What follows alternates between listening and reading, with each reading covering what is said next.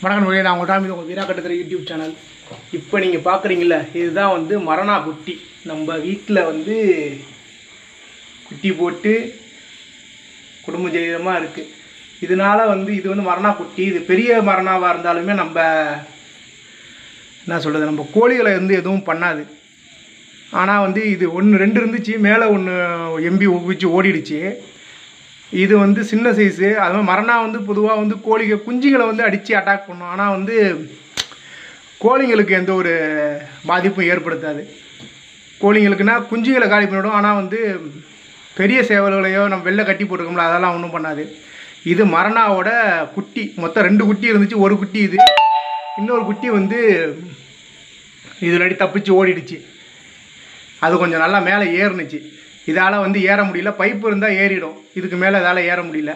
இதை நம்ம எதுவும் டிஸ்டர்ப்லாம் பண்ண போகிறது கிடையாது. நம்ம இதை விட்டுட்டு போக போகிறோம் அதாவது நம்ம என்னத்துக்கு இங்கே வந்தோம்னா என்னத்துக்கு வந்தோம்னா நம்ம கூடையை வந்து பேக் பண்ணி இன்னும் இந்த வாரம் வந்து இந்த வாரம் புவனேஸ்வருக்கு போகுது. சரி அதை பேக் பண்ணலாம். ஒரு கூடை எடுத்து அப்படின்னு வந்தேன். வந்தப்போ பார்த்தீங்கன்னா அந்த பாருங்கள் இந்த கூடையெல்லாம் வந்து நம்ம மரணா தான் வந்து காலி பண்ணியிருக்காப்புல. இதனால் ஒன்றும் தப்பு கிடையாது. கூடையில் இருக்கக்கூடிய அந்த குன்னி பேக்கை தான் வந்து அவங்க கே இது படுத்திருக்காங்களே தவிர மற்றபடி வேறு எதுவும் கூடையெல்லாம் சேதப்படுத்தலை. பார்ப்போம் வேறு எதுவும் இருக்கான்னு.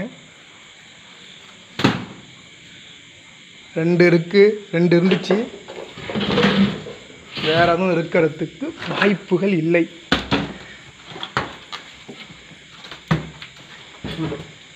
இல்லை. இதை டிஸ்டர்ப் பண்ண போகிறது கிடையாது நம்ம எதுவும். பாருங்கள் வாஷிங் மிஷின்லாம் இங்கே தான் இருக்குது ஆனால் வந்து இது கண்டிப்பாக எங்கேயாச்சும் ஓடி இருக்கும் இப்போ.